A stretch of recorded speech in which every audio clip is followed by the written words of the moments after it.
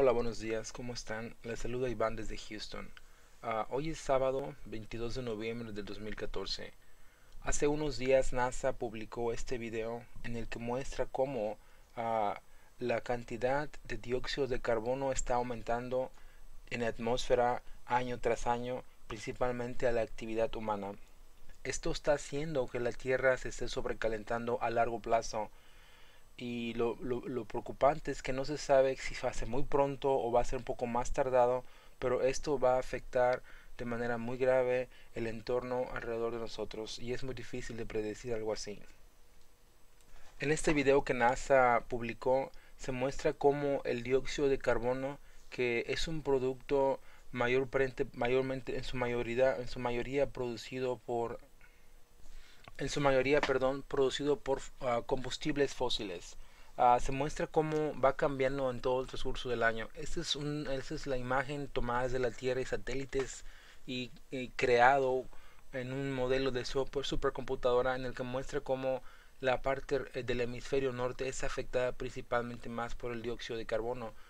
Las partes rojas aquí demuestran la mayor cantidad de concentración que se leen en partes por millón. ppm, ppm quiere decir partes por millón. Uh, la parte roja es una alta concentración. Ahora en el hemisferio sur se muestra como en estas manchas colores grises que ven, como estas nubes grises, van a mirarlas en el video que se va a correr. Esta es la concentración de monóxido de carbono.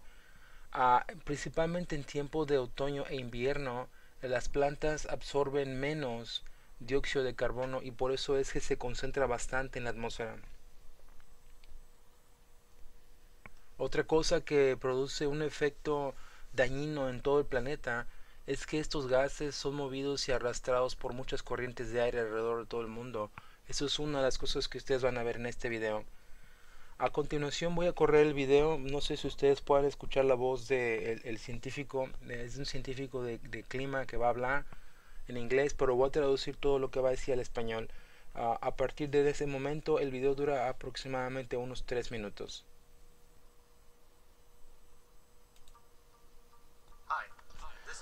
Dice, hola, soy Bill Putman.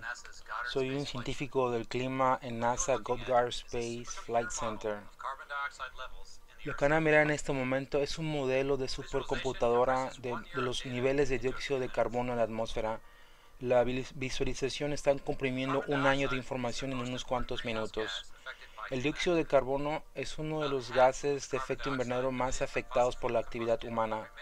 Cerca de la, la, mitad del dióxido de carbono se mantiene, perdón, voy a hacer una pausa, quise decir uh, cerca, uh, cerca de la mitad del dióxido de carbono que es emitido por, por combustibles fósiles se queda en la atmósfera cuando la otra mitad es absorbida de manera natural por los océanos y uh, los plantas.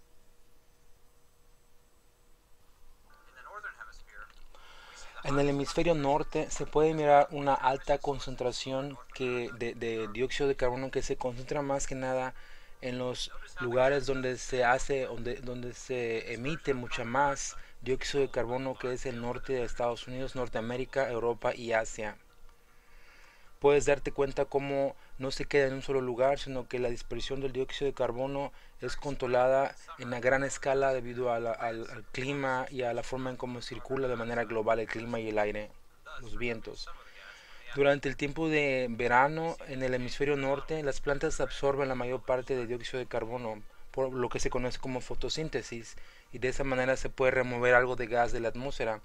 Pero sin embargo, eh, se puede mirar por esa razón cómo empiezan a cambiar los colores en el tiempo de summertime, el tiempo de verano en el hemisferio norte.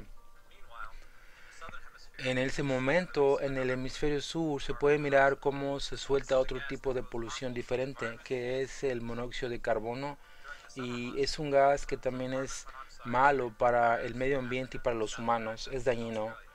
Durante el tiempo de verano, el, monóxido de carbono empieza a, crecer mucho en África, en Sudamérica y en Australia, contribuyendo a una alta concentración en toda la atmósfera. Nota cómo estas emisiones también son transportadas en gran parte del mundo por los vientos. Cuando se empieza a cambiar de verano a otoño, y las plantas o el, fotosíntesis que produce las plantas empieza a bajar, entonces es cuando el dióxido de carbono se empieza a acumular en la atmósfera.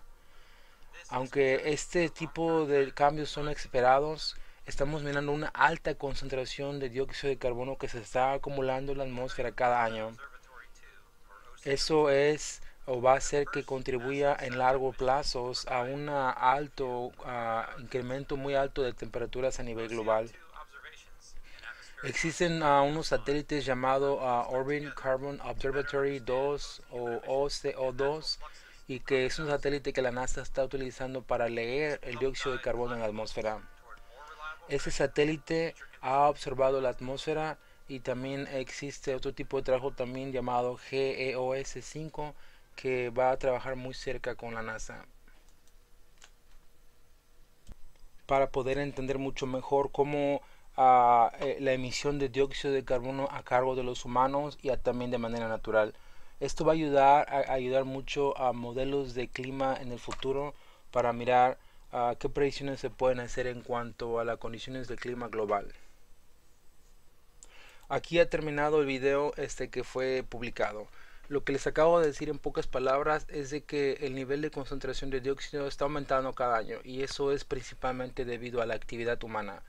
Eh, eh, eh, monóxido de carbono son efectos, son gases de efecto invernadero que son normales, son necesarios para sustentar la vida en la Tierra, pero el problema es que debido a la actividad humana se está incrementando mucho más alto del nivel natural.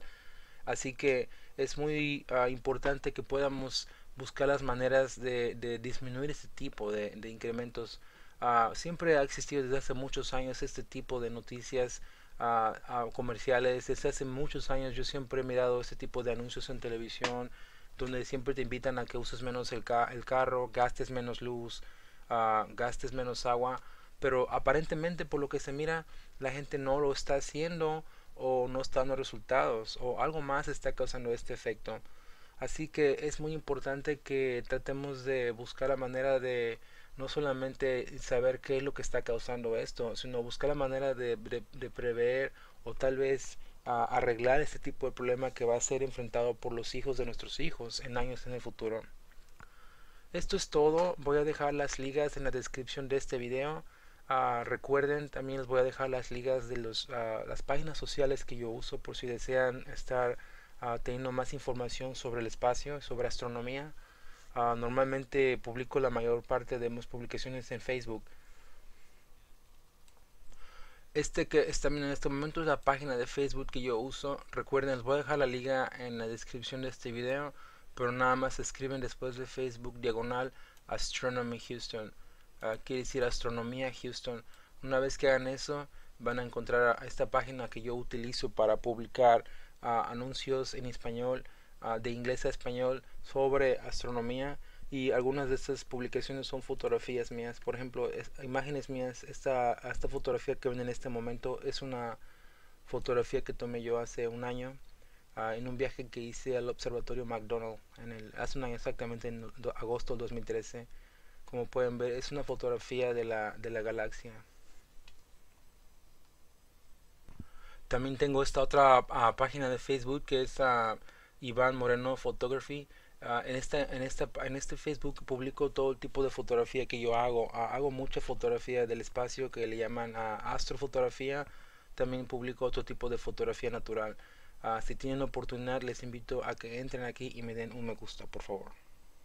Recuerden las descripciones, los, las ligas o links o Ah, de, esta, de esta información que les acabo de presentar van a estar publicadas en la descripción de este video junto con las páginas sociales que utilizo. Eso ha sido todo, agradezco mucho su ah, atención a este video y que esté muy bien. Hasta luego.